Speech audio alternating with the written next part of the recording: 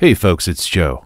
Those of you that have been listening to the show for a while know that I work as a film and TV composer, and today I'm really excited to bring you a conversation with Duncan Trussell, who, along with Pen Ward, co created The Midnight Gospel, an incredible new show that I was lucky to be a part of. In addition to writing the instrumental underscore, I collaborated with Duncan on some original songs for the show.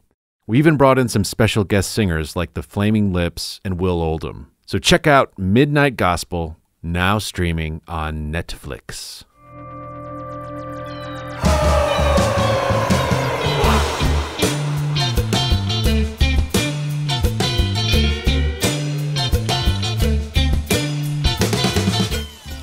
This is Joe Wong. Welcome to the Trap Set. During the age of social distancing, we're recording remotely and releasing episodes every day. First we're born, and then we die. And in between, most of us spend all the time crying. Today's guest is Duncan Trussell. Duncan is a stand up comic, the host of the podcast The Duncan Trussell Family Hour, and co creator of the brand new Netflix series The Midnight Gospel.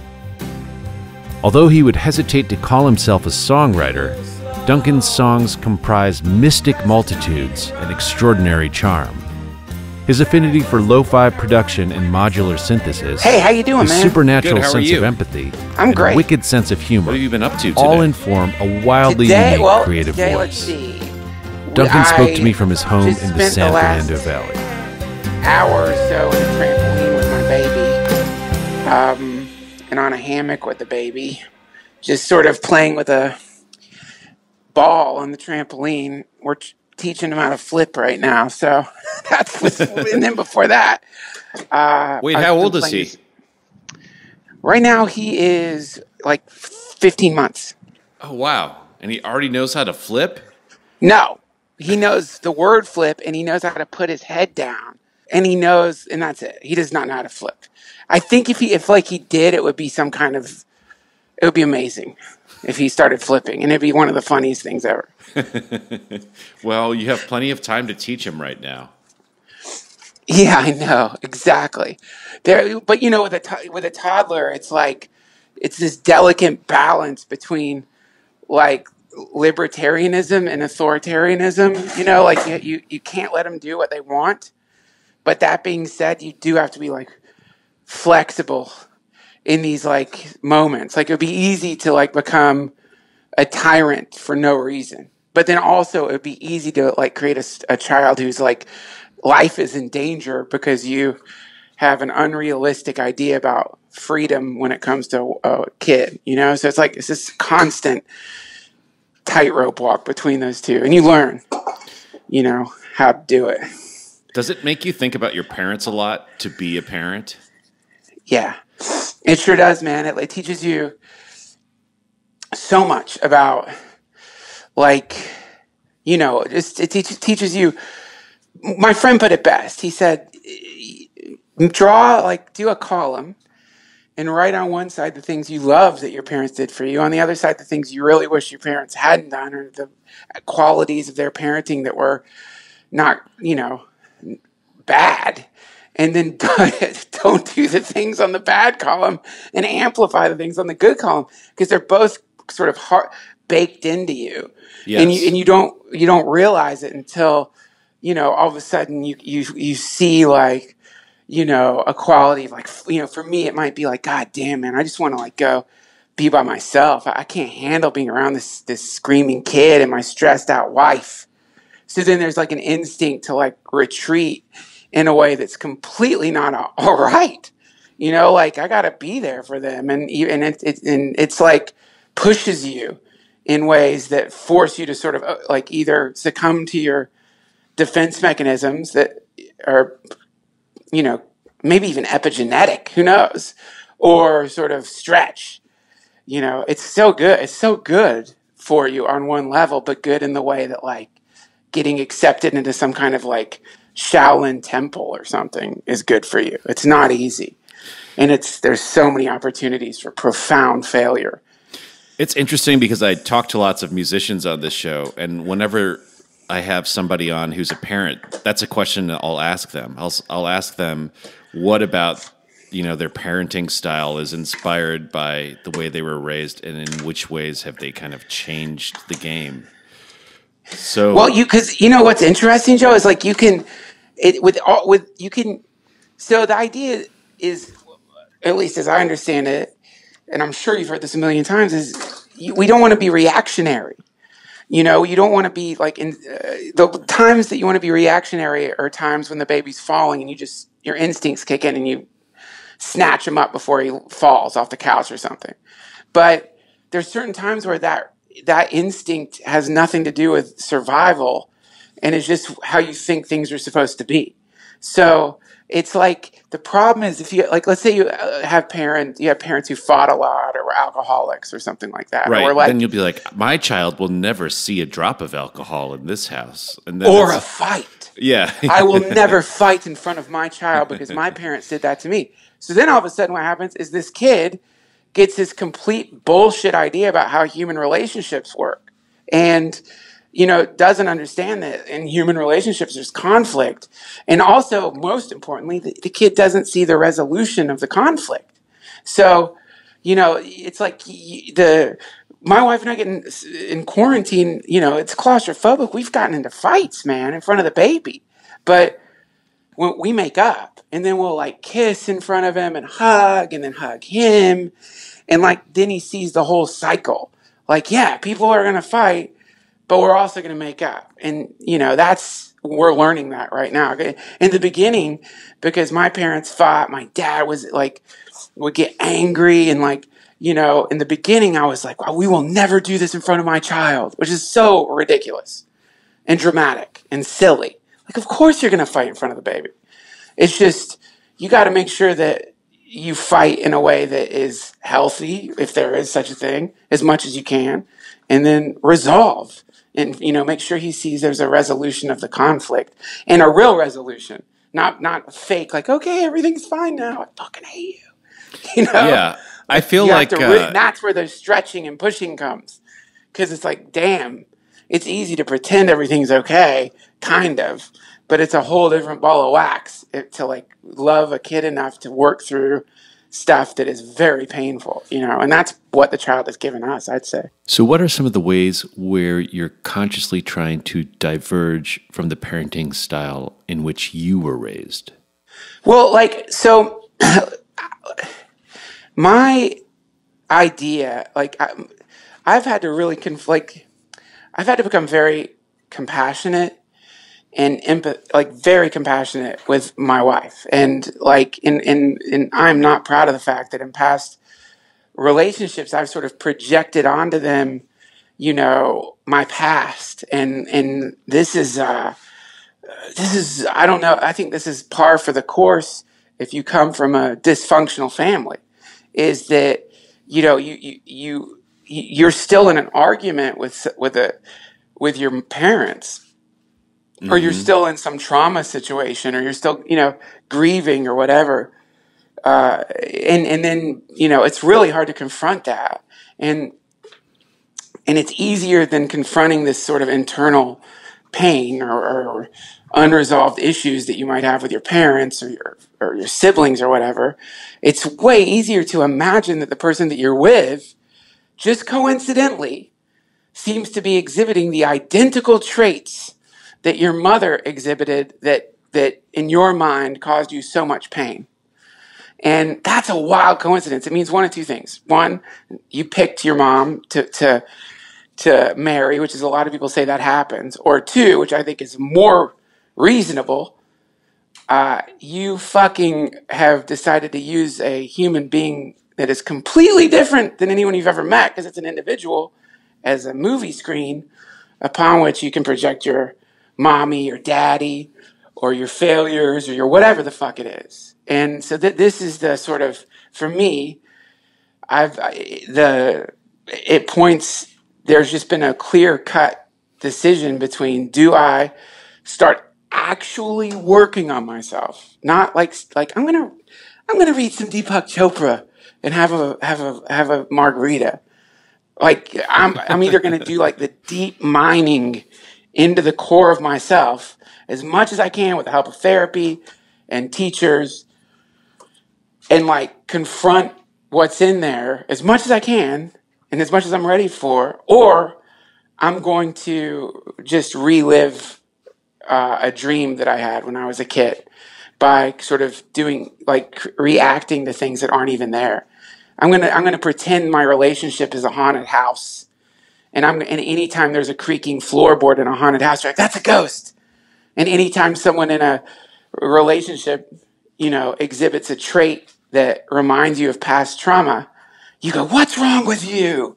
And suddenly you're back in a fight with your mama or your daddy or whatever, you know. So that's what's so I've I've when I've been doing what I can to like really deal with like, oh fuck, man, I just kind of like swept a lot of shit under the rug from my childhood, and you know, you, you, the rug eventually just turns into like a mountain, Yeah. underneath which is a lot of demons. Then you've got to go in there like the Hobbit, you know, and deal with it. Yeah, I try to be conscious of where the line is between self improvement and self obsession. Mm. Yeah, well, I mean, yeah, that's the see. This is this that it, it it's a there's no. It's like I think it's a little bit like surfing.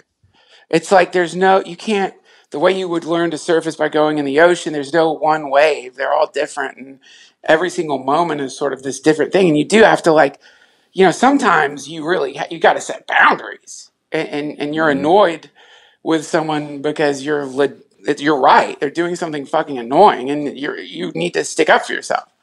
And Yeah. so you that you know spiritual bypass is a way to retreat into yourself and be like that just must be my projection. No, it isn't. That person's being annoying. You need to say, please stop doing that. You know, and and, and so that that's a, it's a good excuse to become like this like impotent, passive, quote spiritual thing. I've tried it, man. It doesn't work Yeah. unfortunately. Um, so yeah, there's that. It, but then also you have to like, you'll notice some people get too caught up in that version of self help, and then they become the tough love people, mm-hmm. and those people just turn into assholes. Like all they are is boundaries, and and like, no, this is who I am, and I say no to you because you. It's like you've got to be flexible. And there's no one way to be. It's always changing. That's been my experience with it.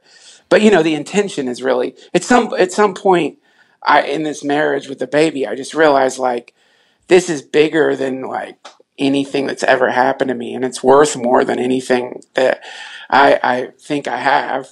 And therefore I'm going to give everything in my heart and soul to like evolving myself and to being open to my family uh, that I can. And and that's a sort of everyday kind of thing that you do as a parent, I'd say, in some way, way or another. I mean, it's not like every day I'm waking up like today I give it all to my family. But you know what I mean. In the background of it all is like this little boy. You know, it depends on us. You know, in every single way, not just like the obvious reasons. Like he depends on us as like the hammock. You know, the sort of temporary representation of the hammock of love that the whole universe is. So, you know, not to put too much pressure on it, but there is a, a, a lot in there that's like, you know, it's worth trying to be as kind as you possibly can. Did you have a trampoline when you were growing up? so, my Aunt Jane had a trampoline and a terrifying bulldog that would, you know, I, those are the things I, I remember about her house is uh, she had this wonderful trampoline. It was very exciting. Uh, whenever we went there, it was just wild to be on a trampoline. And then when you would get off the trampoline and there was this damn bulldog that, you know, I think parents, it's easy for a parent to forget how massive even a small dog is to a baby.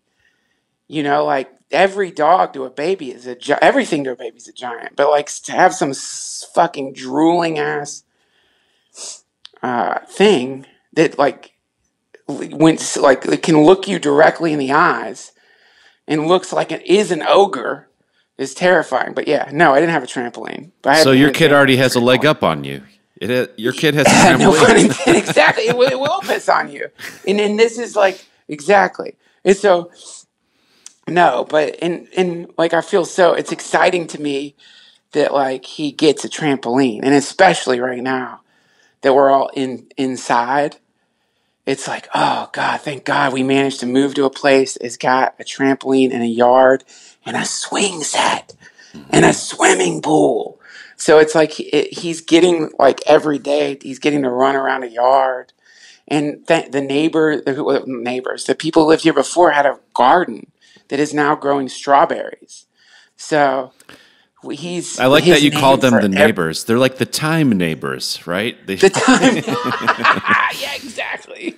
Our temporal neighbors in like months past, they left this garden, and now he. So we go out and he gets strawberries, and he has this wonderful name for all things that grow out of the earth. He call he goes none, none. So he'll point to the garden and go none, or he'll point to the orange tree and he'll go none. And so that's one of the things we do. I'll do is like go and get an orange or strawberry, and he'll eat it and just laugh. And it's like I- I'm like, oh my god, this is what it's like to be with the divine creator of the universe. It's like truly a mystical experience because it's just so elemental and pure. Uh, what kind of music was on in your house when you were growing up? Okay, we listened to John Denver. Uh, I'll, I'll try to. Uh, we country ho, country country hoes, country hoes take me on the road. Country roads take me home, and uh, what's the song that John Denver wrote? I think my mom really Rocky loved Mountain Jacques High? Cousteau. Oh, So Calypso, you know the song he wrote a song about. He was so inspired by Jacques Cousteau. He wrote a song about his boat Calypso, oh yeah, okay. and that song.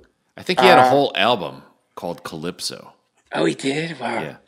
So that kind of music, like my dad was really into.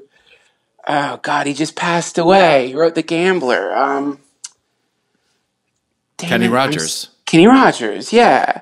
And uh, my lo- my mama loved like uh, folk music mostly. That was what we listened to a lot, and uh, probably some like country music from my dad. But that that was what would have been on. Not a lot of like rock and roll, but mostly just like folk. Were they musical people? Did they play instruments around the house? Unfortunately, no. This is so. I found this out later uh, after my dad had passed, and I was sort of going through his stuff and his yearbook. Um, he had in, the, in his yearbook someone had written, "You're going to be a great musician one day," and I had no idea. He never mentioned to me that he played the tuba in high school. He never he never told me. And um, when I was a kid, we had there was a piano that followed us around. My mom had this piano. She didn't play. She had a harp though that she played. Uh, actually, now that I now that I think of it, she had a harp, and she would play it and like, but we couldn't touch the harp. It was really nice, and it was but it was forbidden to touch it. And I loved like watching. I loved listening to her play it. And then she stopped, just stopped playing it. And we had a piano, and I would like, you know, bang around on the keys, and I loved it. Uh, but I don't think I exhibited enough interest that they got me like piano lessons. I wish they had now because I just love music now. It's interesting because um, you grew up in Asheville, right? All over. I was born in Georgia, and then we took this crazy path across the country. Uh, and I say I grew up in North Carolina only because that's where we landed after the divorce. And okay, but when we but then we from you know Georgia we ended up in Maryland because my mom got remarried and we moved up to like Gaithersburg, Maryland for a year or two, and then came back to North Carolina where I finished out uh, junior high school and high school. So I just say North Carolina because otherwise you end up in this weird, like, well, you know, we were, we traveled a lot. And I'm like, were you in the military? And you're like, well, sort of. My dad had PTSD and was trying to run away from Vietnam. Oh, really? For, yeah, yeah. And I didn't find that out until, um, you know, I'm so lucky because I'm friends with this uh, psychiatrist who works with MAPS, and he's like doing he's one of the people doing the uh, the studies on treating PTSD with MDMA. And I, my dad had casually mentioned to me that he had PT, that he'd been diagnosed with PTSD for his whole life. And I didn't, I don't, you know, the way he said it, people with PTSD, sadly, one of the symptoms is they don't want to express that they feel bad. Um, it's a really r- great way to be if you're like on like a rugged mountain climbing trip or something and you need to be tough. Not a great way to be as far as survivability goes in your old age. But he uh, had casually mentioned this to me, and then I and then I was telling this psychiatrist friend of mine, yeah, he said he had a PTSD, and he's like, you know what? Do you know what that means? You know what that means, right? And I'm like, kind of. I mean, I have a I have a degree in psychology, but we, it was, you know, I barely paid attention. Then he just started like going through the symptoms of PTSD with me, and then without ever having met my dad, he just described my dad to me. What was he And was- describing? What's what, sympt- what symptoms was he describing that evoked Oh your dad? man, you know, he was describing the alcoholism. He was, you know, self medication.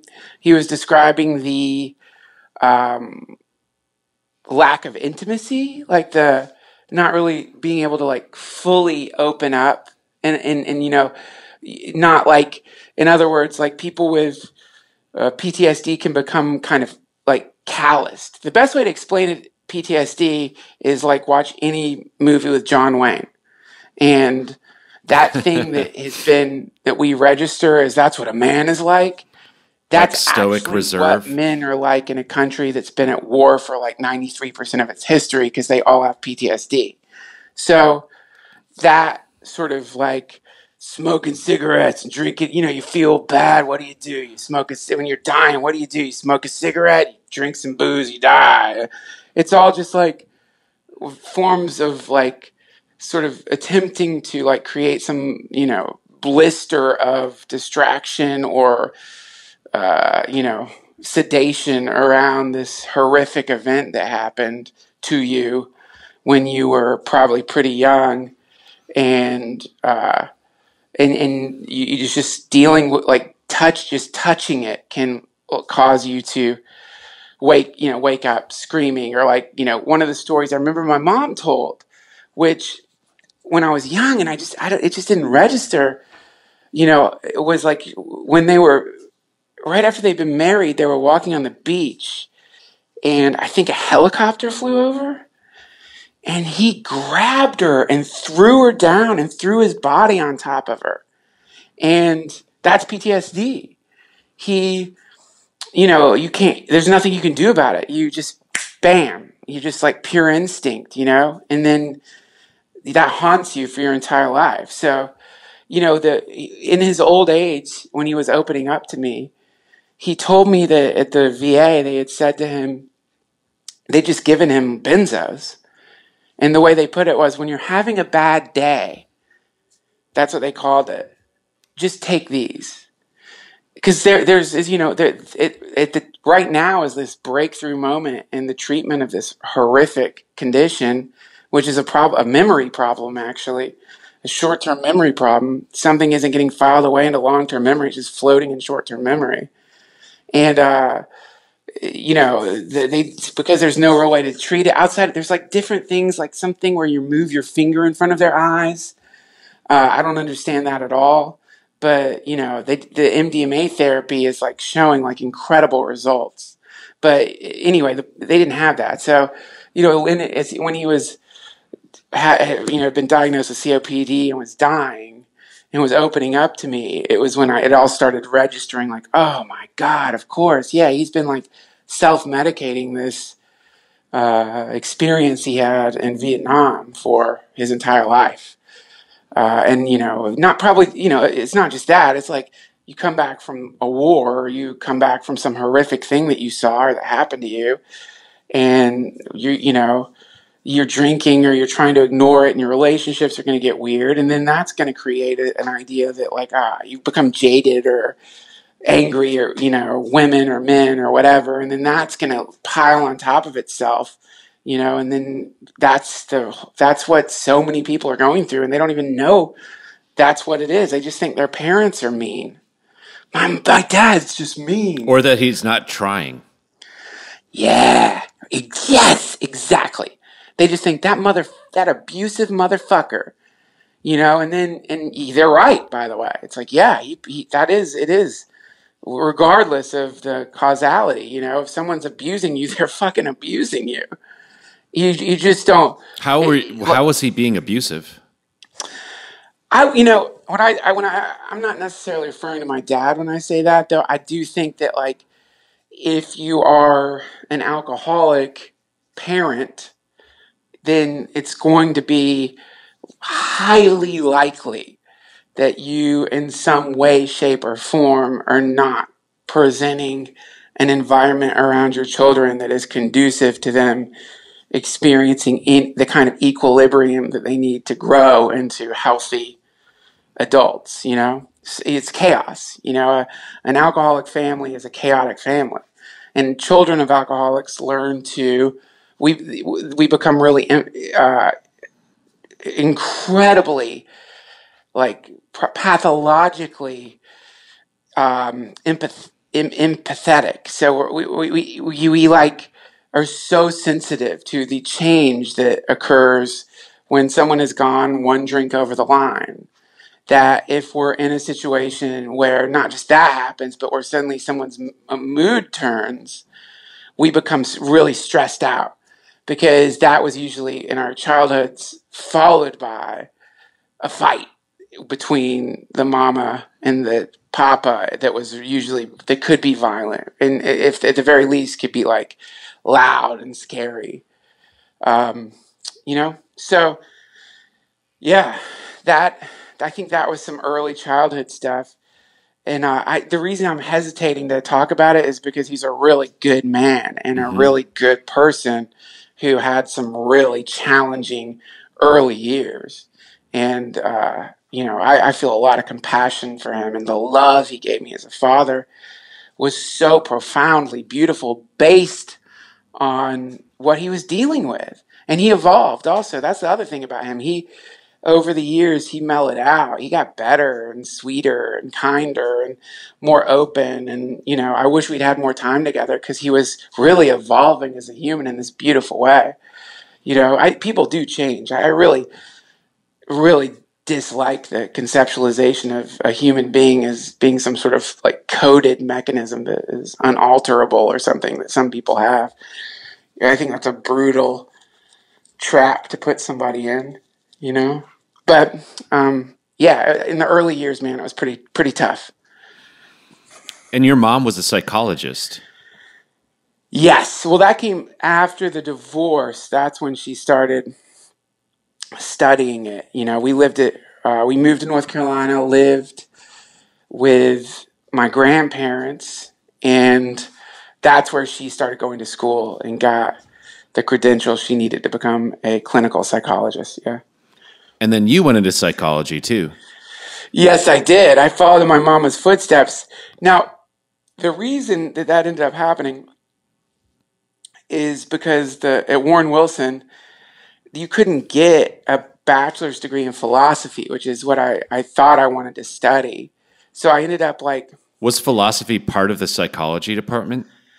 Well, yeah, I mean, I think any good psychology department has got yes, yeah. yeah. You you t- we took philosophy classes with this brilliant man named John Casey, and uh, the but I the the my favorite thing, and this is like you know had had my life gone a different way, I easily could have ended up going into like seminary or something because I would got I became so obsessed with religion, like studying religion, and uh, so I got I minored in religion, and there was this amazing teacher named Jeannie Matthews who was just so brilliant and so good at just teaching world religion in a way that was like it's hard to explain. It was just juicy. That really like connected you to like the life of that religion in a way that was like, you know, the kind of thing you can get at a liberal arts school that wasn't biased or like it was like you know, she was taking us to mosques and like it was amazing. You were kind of falling in love with learning about world spiritual traditions. Yes. But you were mentioning that uh, you could have easily gone to seminary. I mean, were you a believer in any particular faith? Yeah, see, because what happened was I I ended up like one of the most profound moments of my life. What happened at the Laguna Beach Hare Krishna Temple, where my uh, brother had, you know, been living in LA during the God one of the big earthquakes, uh, and and they like because the apartment he'd been living in had its foundation had gotten fucked up from the quake, the Northridge quake. He had uh, been able to like get a free like a free apartment in Laguna Beach. Like the state just paid for his apartment for a year. And so, and he had this like he was going through this one this amazing hippie phase at the time, and uh, he like had been hanging out at the Hare Krishna temple, chanting Hare Krishna, hanging out with the devotees. You know, I was sort of delighted by how worried my mom was about him. And, uh, you know, it was so cool. It's like, oh, this, is- this is like. Because she I thought he was joining a cult? Yes, yeah, she thought he was going to go bye bye, and and like you know, I've been trying to like horrify my mom for years with like you know, I remember like I intentionally started listening to Iron Maiden just because I thought it would like uh, you know uh, upset her, which she was a good enough therapist to be like, all right, go ahead and listen to Iron Maiden, like whatever. But the Hare Krishna stuff, it, it upset her because she was well, for one, rightfully so. She'd met people who had, who had like had been affected by the early days of that religion in the '60s when it's and it's when it was more cult like than than it is today, and uh, she just didn't understand it. That being said, that particular form of yoga it doesn't really tiptoe around its fundamentalism. I mean, it does have a, a, a backbone that is really connected to the it's i mean it's a it invites you into the brahmachari ashram is what it's called which is a, a, ren- a renounced way of living so if you ever see a Hare Krishna whose head is shaved wearing robes chanting on the street uh, you're looking at someone who is uh, an ascetic who's sort of rena- is at, at least that moment in their life is has chosen to connect their entire being to the service of krishna and that's a really ancient tradition. But in this culture, you see that you're like, that's a motherfucking cultist, you know. But in you know, in other in other um, cultures, that's not as it's well, it's literally called the cult of bhakti, you know, and it is like, yeah, you're you're gonna let go of the entire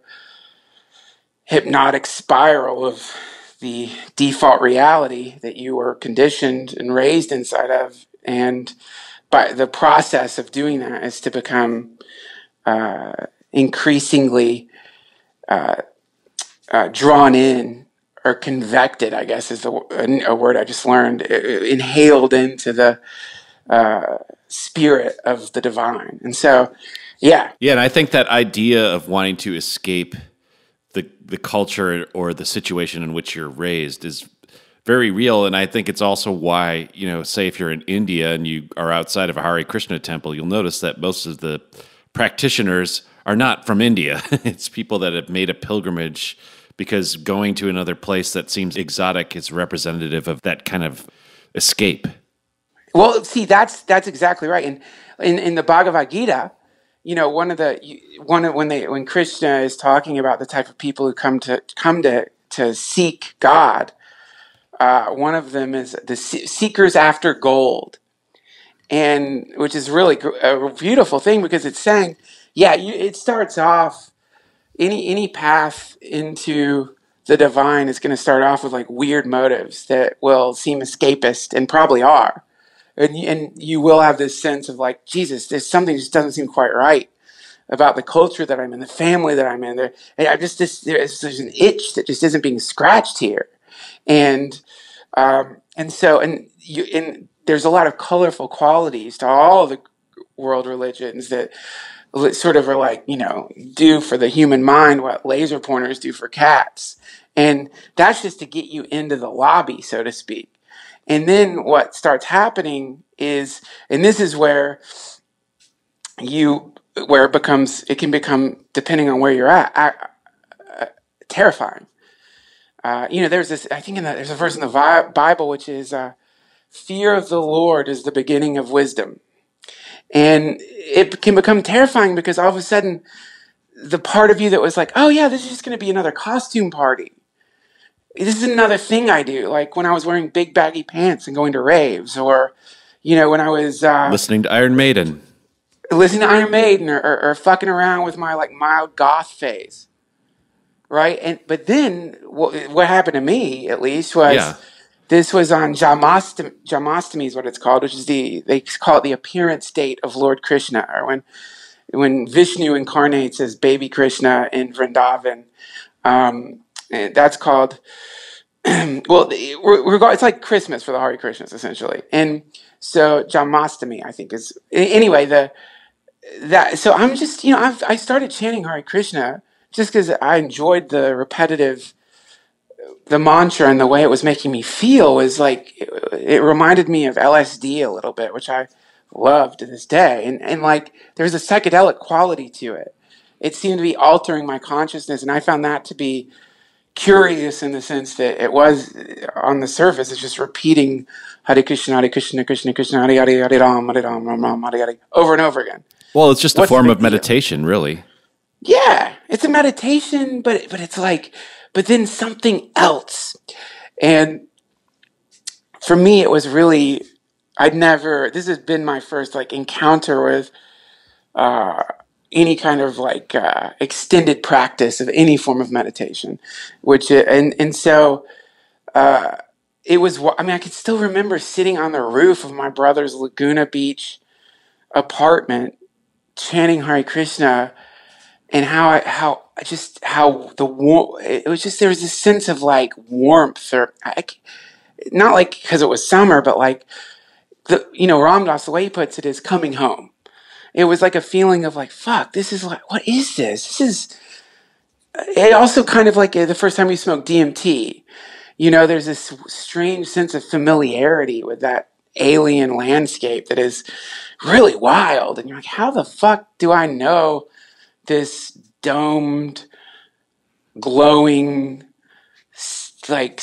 alien technological landscape that seems to be like some part of like some spiritual technology that's been here forever and then you come down and you're like what what was i what did i just say? But like like uh anyway the uh that day you know i, had gotten stoned and I'm watching this uh, beautiful ceremony that's happening is they have these, you know, the deity of Krishna. They're, they like there's children fanning it with peacock feathers. They're pouring milk on it. They're like, you know, ringing bells, and the whole temple smells like flowers, and they're chanting Hare Krishna. And that is when I had my first I guess you would call it like a mystical experience or encounter with God. And, and you hear about, you know, you hear about this and I'd read about it and I, I guess I probably thought I'd had it, you know, when I was younger, you know, through like LSD and tripping and stuff. But this was, this was like, this was eh, the, you know, the best way, like the way my mind was trying to process it, because that's all you've got is like, your your past experiences to compare something to.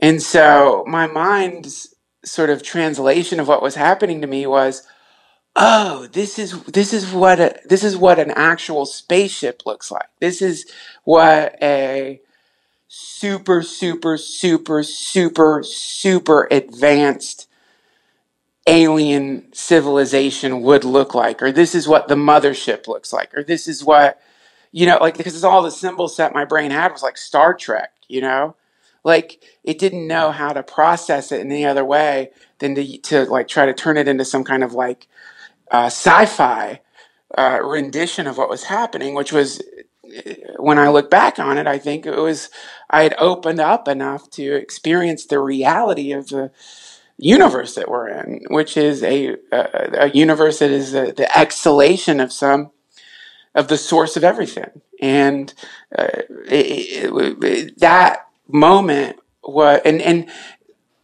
the re- the realization was, oh wow, this whole time as I'm thinking, oh my God, you know, look at this kind of archaic way of making these sculptures that look like God and, you know, offering flowers to them. It's beautiful and relaxing and it's really cool and it's sort of edgy or whatever. But, you know, I mean, come on, this is some Indiana Jones shit, right? Like, they've got to know this is some antiquated blah, blah, blah.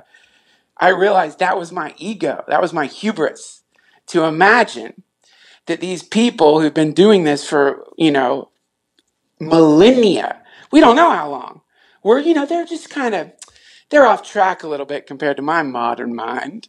But I'm going to engage in this sort of stuff just because it makes me feel kind of good. It's trippy. I'm kind of a hippie. And Suddenly you get to like- piss off your mom. and I get to piss off my mom way more than Iron Maiden. but then suddenly it was like, oh, oh, wow, wow, wow, holy shit! you know, like this is re- this is this is the actually one of the ways that the something that is outside of time sticks its fingers into our reality is via the appearance of these deities, which act as, which are, are, are, some form of antenna, and even that is a degradation of what they are. And so, in, in, in the articulation of it. And so, I, a, better way to put it would be, and this is actually, we were talking about this the other night. You know, you hear in Christianity a lot about blindness, the curing of blindness uh, or like in that song amazing grace you know i once was lost but now i'm found was blind but now i see. It was like that like a, someone had lifted a blindfold up off of my eyes just for a second. And then the blindfold i probably just was like okay that's enough and pulled it back down because it was too much at the time my ego was too fixated on the reality, you know, default reality. I wanted to be in the, mo- I wanted to be in the modern world. I wanted to be a modern person. To this day, I do. That's my karma. I wanted, I didn't want to shave my head. I didn't want to wear robes. I didn't want to like surrender to that reality. I wanted to be in my human incarnation. And uh, that's why I'm in what's called the Grihastha ashram or the householder ashram, uh, which is, you know, I have a family because that's my karma. And and also there's no like hierarchy there. It's just that's just what my karma's like right now. I, I i like to like play music and make stuff and you know get high and drink and like have dogs and you know be with my wife and my baby. That's just what my i'm drawn to.